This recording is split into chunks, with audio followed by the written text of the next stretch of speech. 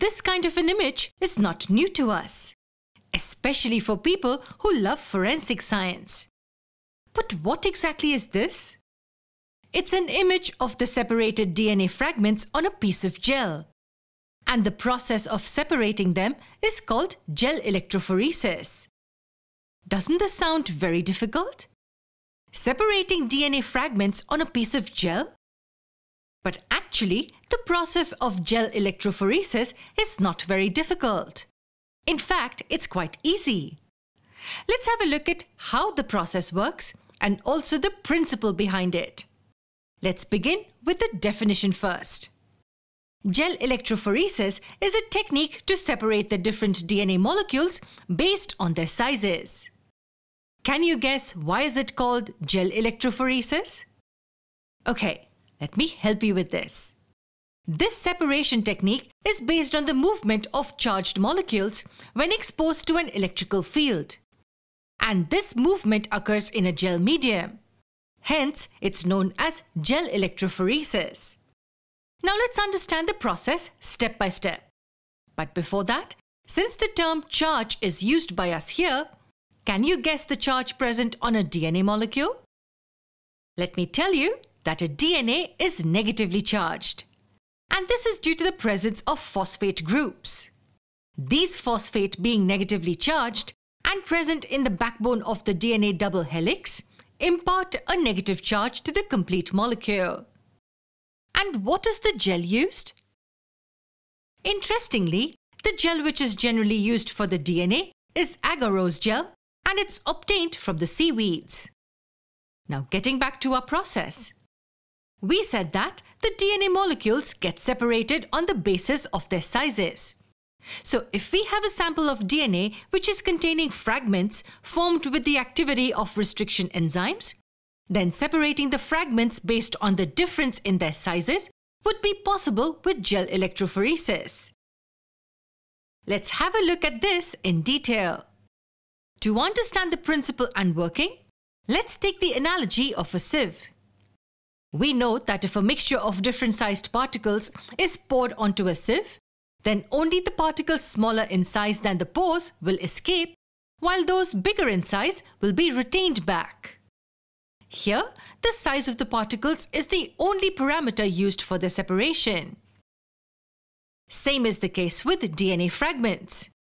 When our DNA sample containing various size fragments is loaded onto a gel, then the charge applied across the gel helps in the mobility of these fragments. However, not all fragments move at the same pace.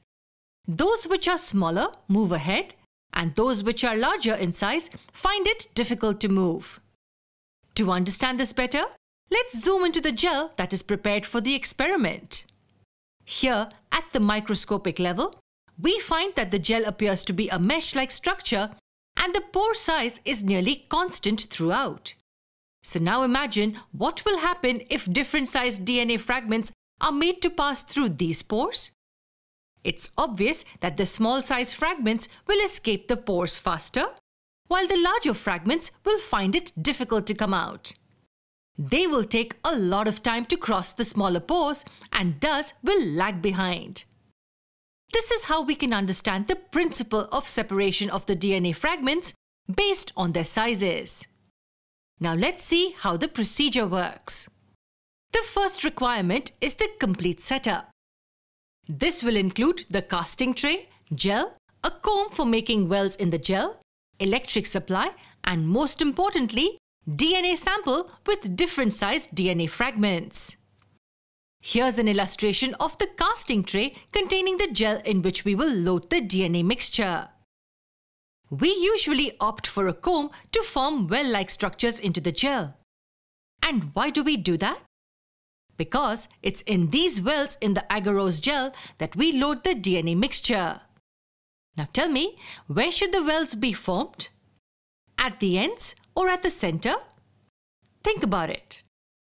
We know that the DNA fragments being negatively charged will travel from a point of negative charge to the point of positive charge.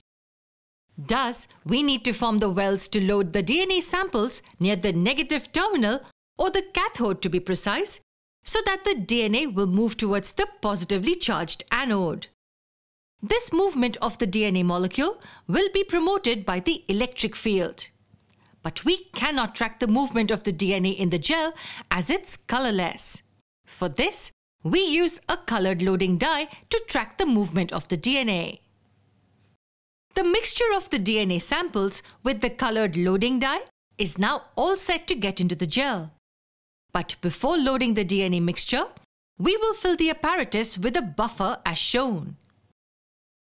The buffer is used to provide better conductivity of electricity. Next, we will load the DNA mixture into the wells and we're ready to turn on the power supply. Once the power supply is turned on, the DNA mixture will move through the gel, which can be tracked with the help of the loading dye. The loading dye is selected in such a way that it travels a bit faster than the DNA segments present in the mixture. And why is that so? That's because we want the loading dye to reach the terminal end faster than the DNA.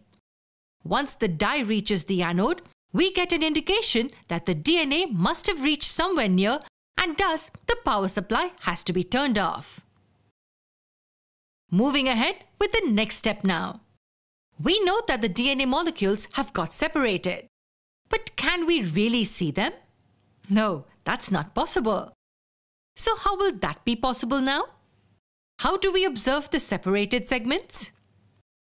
To observe the DNA molecules, we treat the agarose gel with ethidium bromide solution. The major reason for using ethidium bromide is that it easily binds to the DNA molecules and when the agarose gel containing the DNA is observed under ultraviolet light, bright orange colored bands are clearly seen. These are nothing but the bands of the DNA. The separation has been successful based on the size of the DNA fragments.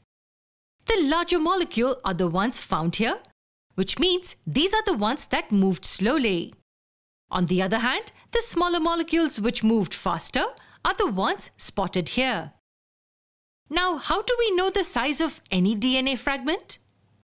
The bands obtained are compared with a standard chart known as the DNA ladders. On comparing the positions of the bands with the ones from the chart, we can easily make out the length of the fragments obtained. Once we know the lengths of the fragments, we can easily identify the desired DNA. Now, the desired DNA fragment can be first manually cut out from the agarose gel and then extracted. This process is called elution. The extraction of the DNA is done in such a way that it can be used for further downstream processing. This was the simple explanation of how any gel electrophoresis technique works. It's considered as one of the very important techniques used in recombinant DNA technology. To learn more about such interesting processes, stay tuned to our channel and do not forget to subscribe. Happy learning!